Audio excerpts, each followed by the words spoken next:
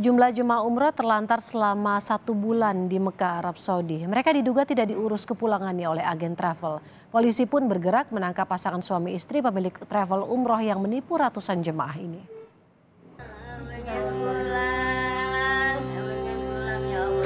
Nah, apakah Anda nggak kesian?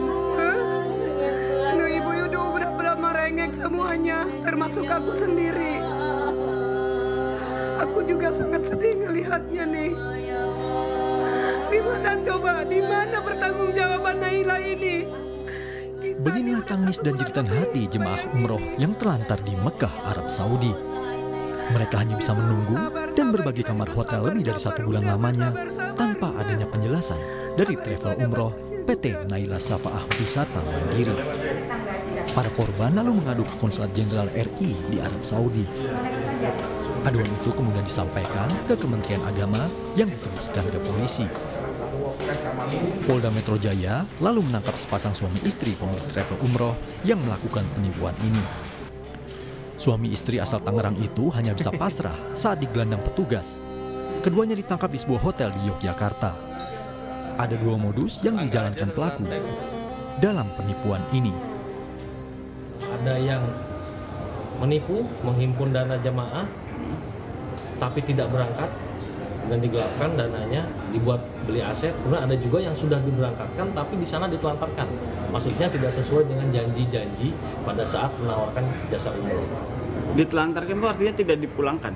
Tidak dipulangkan, jadi di sana hotelnya dibiarkan cari sendiri, kemudian tidak dibelikan tiket pulang, itu tidak diurus lah di, di, di, di tempat umroh. Hingga kini, 13 laporan polisi dibuat terkait penipuan umroh ini. Mahfud Abdullah alias Abi, tersangka yang juga pemilik travel umroh ini, merupakan residivis kasus yang sama tahun 2016.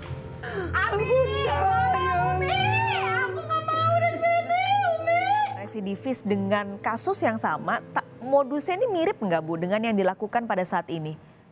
Hampir mirip. Kalau dulu dia menghimpun kemudian tidak memberangkatkan dan sekarang dia menghimpun dan tidak memberangkatkan eh, tambah lagi dengan penelantaran di eh, Mekah. Eh, karena banyak eh, apa namanya eh, jamaah yang tidak berangkat gitu ya.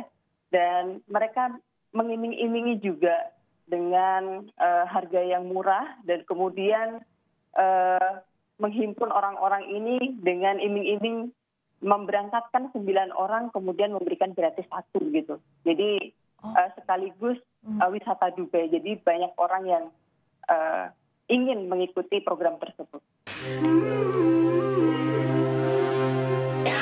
Polisi masih mengembangkan kasus ini, sebab travel umroh ini memiliki lebih dari 300 cabang di seluruh Indonesia. Hingga kerugian jemaah mencapai ratusan miliar rupiah.